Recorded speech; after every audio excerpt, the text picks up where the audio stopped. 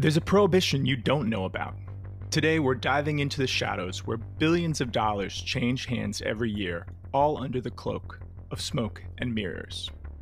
A world where smugglers, counterfeiters, and black market moguls have turned an age old industry into a complex global operation, all over a product you might see every day cigarettes. We'll explore the toll this underground economy takes on public health and government coffers, and see if there are solutions to these problems through better excise tax policy. Hello, and welcome to The Deduction, a Tax Foundation podcast. I'm still your host, Kyle Hulehan, and today we are joined by Adam Hoffer, our Director of Excise Tax Policy. Adam, I'm excited to have you here today. This is actually like one of my favorite parts of the job. I get to just chat with coworkers who I might not get to talk to as much and learn from them. So this is going to be a fun episode. And I'll start by just lobbing you a softball. Adam, how are you? Oh, hi, Kyle. I'm well. Thanks for having me on. Uh, it is a, it is fall here. Uh, I'm a virtual employee. I live in Wisconsin, and I absolutely love it this time of year. It's a great day, and I'm really excited to talk about taxes and illicit trade today. Yeah, you're going to be shoveling snow soon, but for now, we'll just focus on the taxes. So, the last time you were on this podcast, you talked about the importance of tax design. But today, I was hoping we could discuss the consequences of taxes, uh, specifically the rise in black markets and illicit trade. Could you just talk us through how those are connected to illicit trade? Yeah, I, I think this is a really important concept. In the tax world, we have to remember that there's a fundamental rule that we follow in economics and basic human psychology, and it's that people respond to incentives.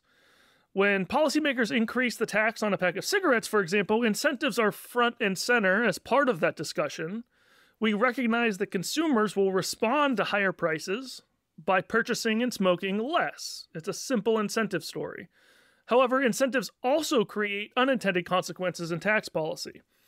As tax induced prices increase, the incentives also increase for both suppliers to illegally provide non tax products and for customers to purchase those lower priced non taxed products. Across the country, taxes add an average of about 77% to the price of a legally uh, purchased pack of cigarettes. That means that by changing nothing at all about the product other than dodging taxes, black market operators can sell products at a massive discount to consumers. And some of the, the tax markups are a lot more than 70%, yeah, I, they can go a lot higher. Uh, New York City, for example, the markup is more than 300%. Uh, I don't think it'll surprise many listeners to hear that there are robust smuggling and illicit trade activities going on in New York. Uh, we our data suggests that more than half the cigarettes consumed in the state of New York are not purchased in New York. They're smuggled in or purchased in the black market or illegally somehow. I mean, it feels like some you know, policymakers and health advocates they're trying to make cigarettes so expensive through taxes that, that no one could afford to buy them. That's what they're trying to do, right? That's exactly what they're trying to do. There's a concept economists refer to as prohibition by price. At the extreme, if taxes were so high that a pack of cigarettes were as expensive as a, an entire year's salary, nobody would buy them legally. So, even without legislative action to prohibit the sale of a product, taxes can be so high that you functionally end up with a prohibition by price or by tax.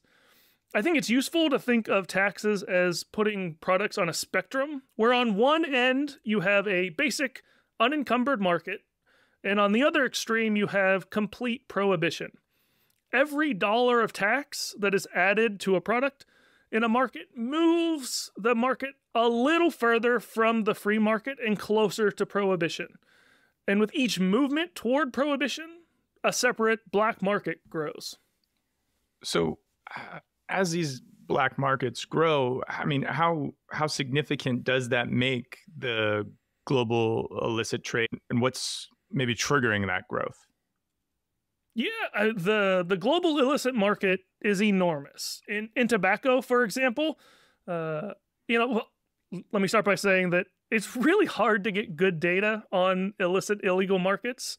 But using the best that we have, uh, our estimates put the size of the Chinese counterfeit tobacco production market at more than 400 billion cigarettes per year. Uh, their staple product is called a cheap white or illicit white. These are generic looking cigarettes produced legally in their home country. So, again, mostly China, but uh, we also see uh, several places, both in Eastern Europe and uh, throughout Eastern Asia. Uh, these generic looking products are produced legally in their home country, but they're often designed for exporting into high tax markets. So, with these being designed to, you know, export into high tax markets, what, I mean, what dangers do counterfeit cigarettes pose, you know, especially from China uh, compared to legally manufactured ones? Yeah, I mean, we know legally manufactured cigarettes are dangerous to consume, but there are also even greater dangers from internationally smuggled products that don't have to live up to any sort of quality control standard or product manufacturing standard. Uh, researchers have found that counterfeit cigarettes have as much as seven times the amount of lead as authentic American brands and close to three times as much thallium. That's a toxic metal. Uh, other reports have found things like insect eggs, dead flies, mold, uh, and even human feces in these counterfeit counterfeit cigarettes. It's it's a whole different world whenever you move from producing something that's sold, regulated, and done so legally to uh, something that gets smuggled, you know, inside and hidden in shipping containers. Wow. As someone who's only smoked just a few cigarettes in their day, uh, it's pretty scary to think that counterfeits cigarettes could really have these kind of dangers. It kind of makes you think twice about it a little bit, but I don't want to get too far from the point here. It, to stay on track, how does, you know, the hike in cigarette tax rates correlate with the the increase in smuggling as you've seen through the evidence and empirical studies? Yeah, our estimates suggest that a $1 increase per pack of cigarettes in the United States increases smuggling at the state level by an average of 31%. That's a really big jump. Uh, other academic studies have, have looked at this more globally. Uh, an estimate that we uh, refer to quite often is that a one euro increase in the tax per pack of cigarettes would increase illicit market share of the total market by 5 to 12 percentage points and then also increase illicit cigarette sales by 29 to up to 95%. So how how do individual states with their, you know, policies, those in New York, Massachusetts or California, how does that influence the local cross-border illicit cigarette trade? One of the beauties of the American system is that we get these uh, series of experiments at the state level. Where we can see what happens when states implement a policy. So, Massachusetts and California were the first two states in the country to ban the sale of menthol cigarettes. Massachusetts did so in 2020, and California just did so uh, in late 2022. Uh, we're still gathering our data on California. We have some early impacts, but we have some good data, and we've had time to collect it in Massachusetts. Uh, the flavor ban in Massachusetts, the year after the flavor ban passed, sales of cigarettes in Massachusetts fell 24%, but we could track 9 out of 10 of every one of those packs no longer sold in Massachusetts. We could track them to increase sales in neighboring states.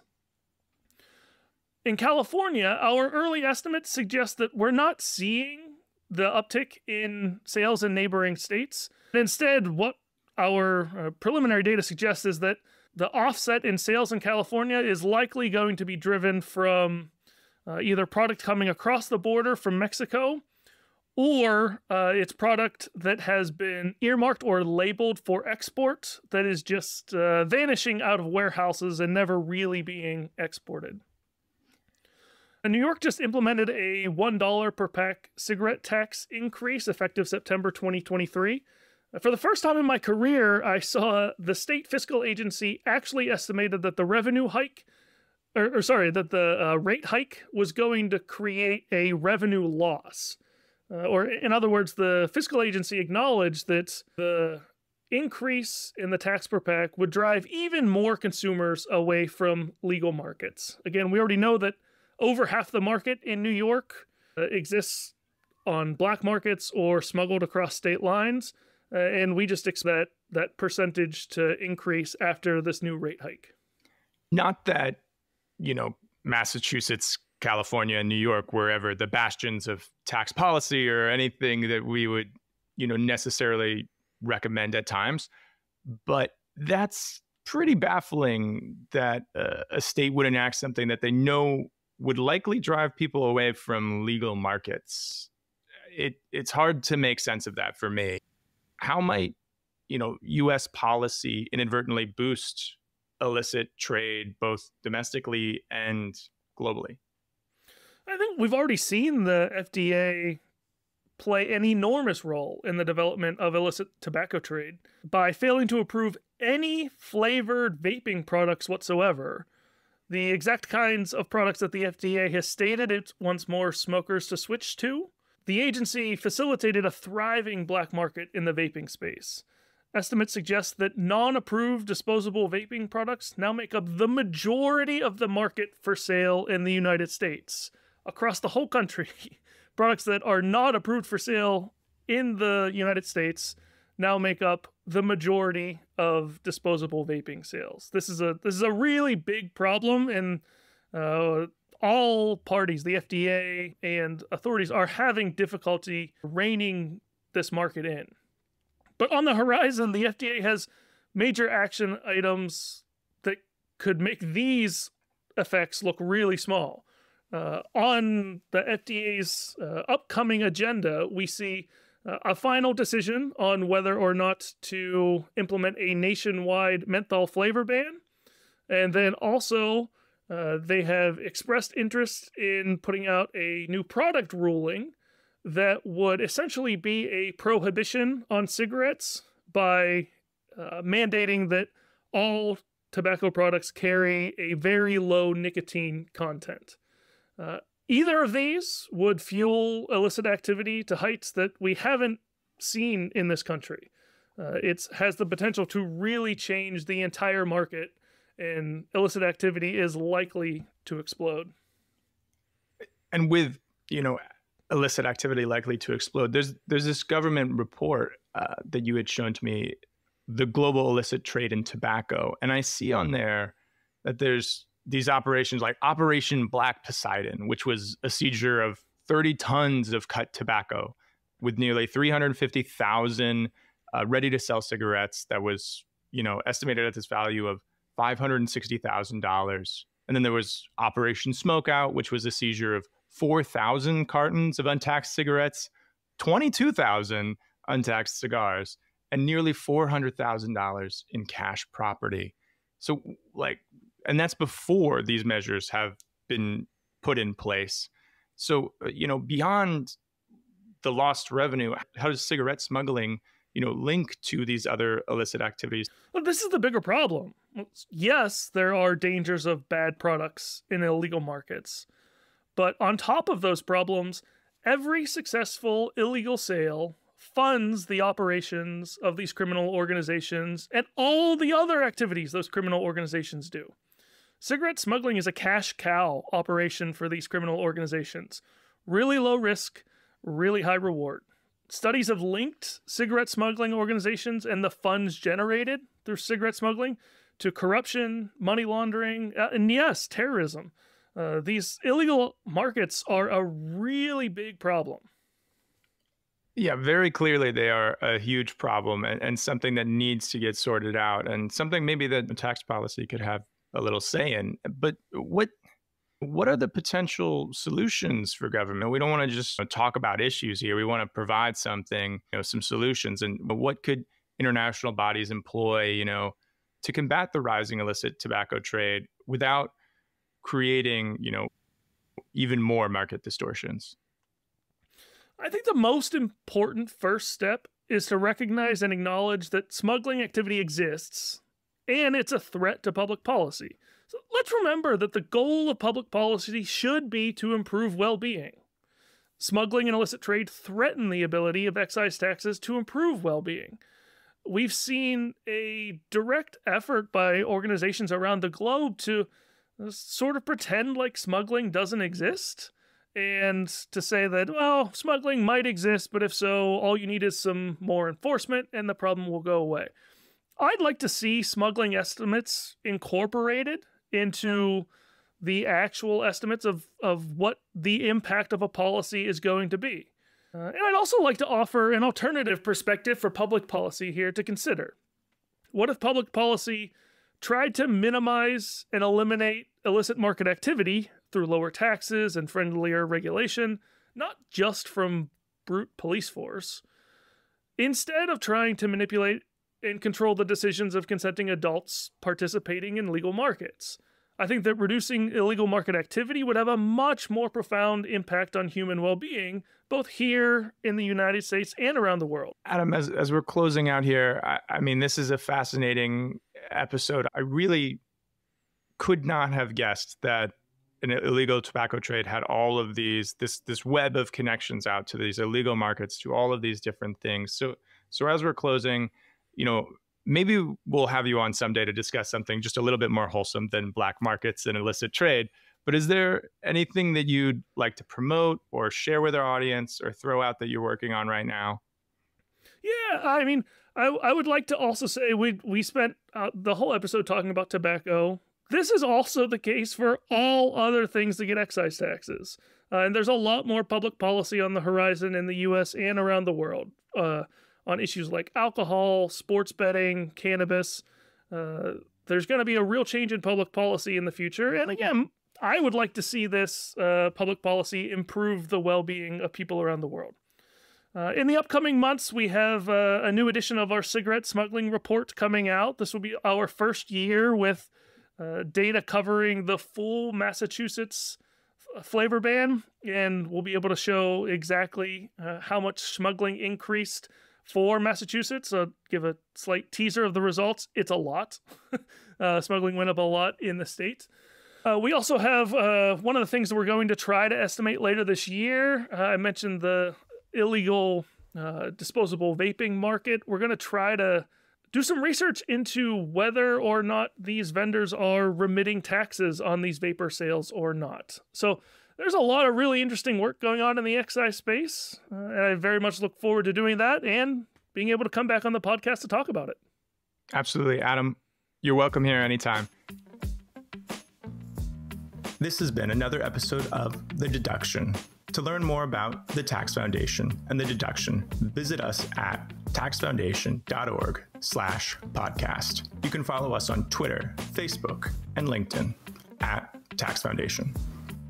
If you've been enjoying our show and want to help us grow, please leave a five star review on Apple Podcasts, Spotify, or wherever you get your podcasts. It helps others find the show. And if you didn't enjoy the deduction, well, keep it to yourself. Another way you can support our work is by donating to the Tax Foundation on our website. Thank you all for listening, and we'll see you next time.